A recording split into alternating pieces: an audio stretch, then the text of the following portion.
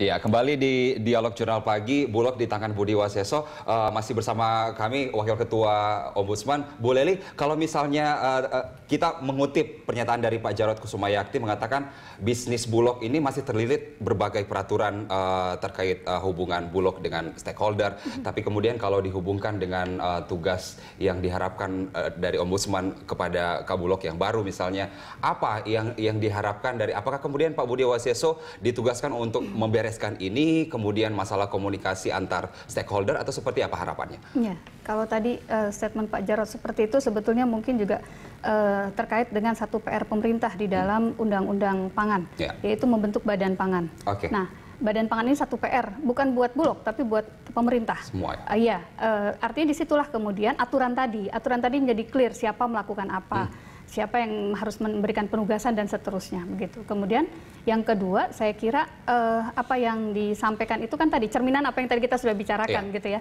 Banyak kepentingan stakeholder dan seterusnya. Nah, itu yang dan harus kemudian Badan Pangan ini seharusnya mengomandoi begitu. Ya, artinya hmm. kalau kalau tadi seluruh sistem ini sudah clear kalau kita sekarang melihat mohon maaf mungkin besok lagi Satgas Pangan nggak usah ada lah kira-kira okay. gitu ya. Toh semua sudah kembali kepada tusinya masing-masing. Apalagi ada Pak Buas mantan polisi ya, misalnya ya. ketika Pak Buas di sana mungkin kalau Pak Buas berniat memberantas mafia istilahnya ya beliau ya di statement awal-awal saya kira uh, mungkin uh, beliau masih masih sangat uh, teringat dengan tugas-tugas sebelumnya. Lebih mudah tetapi, lah ya istilahnya. Ya, tapi ya. kalaupun betul terbukti dan sudah bukan tanggung jawab Bulog lagi sebagai hmm. institusi karena Bulog bukan penegak hukum, okay. serahkan saja kepada kawan-kawan okay. di kepolisian kalau okay. mau melakukan itu. Kira-kira okay. begitu. Baik, Bu Leli terima kasih sudah hadir bersama kami pagi ini. Selamat bertugas kembali. Pemirsa usai jeda, kami masih akan kembali dengan informasi lainnya di Jurnal Pagi. Tetaplah bersama kami.